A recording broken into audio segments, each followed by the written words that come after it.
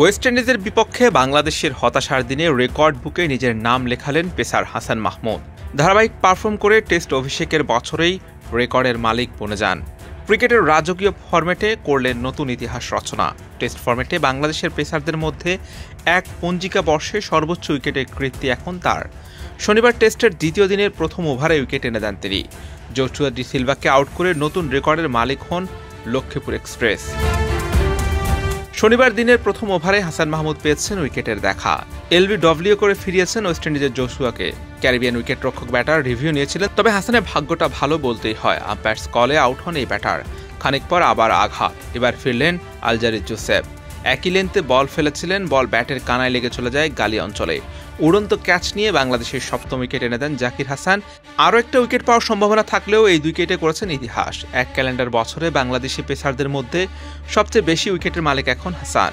দুই হাজার চব্বিশ সালে অভিষেক হয়েছে ক্রিকেটের বনে দিয়ে ফরম্যাটে এরপরে নিজেকে প্রতিনিয়ত প্রমাণ করছেন লঙ্গার ভার্সনে ক্যারিয়ারের অষ্টম ম্যাচে এসে পেয়েছেন পঁচিশতম উইকেট এক পঞ্জিকা বর্ষে টাইগার পেসারদের মধ্যে এটি সবচেয়ে বেশি উইকেট নেওয়ার কৃতি এর আগের রেকর্ড ছিল সাদাত হোসেন রাজীবের।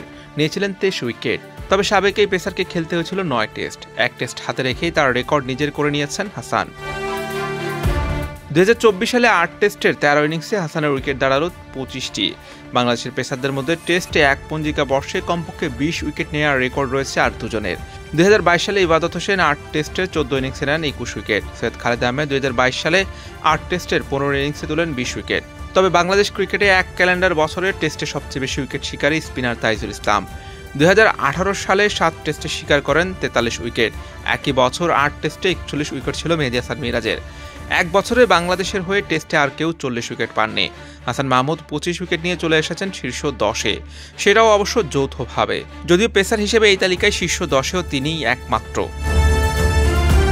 পঁচিশতম উইকেটের পর আরও একটি উইকেট শিকার করে ব্যবধান আরও বাড়িয়ে দিলেন। আর টেস্টে এখন পর্যন্ত হাসানের শিকার ছাব্বিশ wicket.